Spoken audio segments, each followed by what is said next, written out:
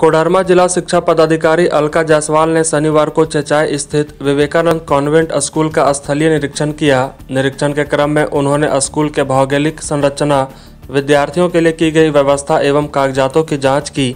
जाँच के उपरांत सीबीएसई से मान्यता प्राप्त करने के लिए निर्धारित गाइडलाइन के अनुसार सब कुछ सही पाए जाने पर उन्होंने एनओसी प्रमाण पत्र के लिए झारखंड सरकार को रिपोर्ट प्रेषित किया है।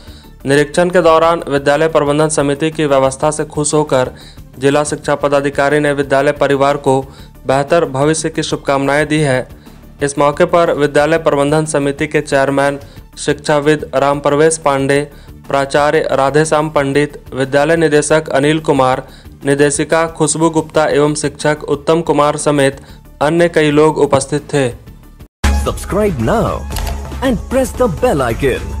Never miss an update.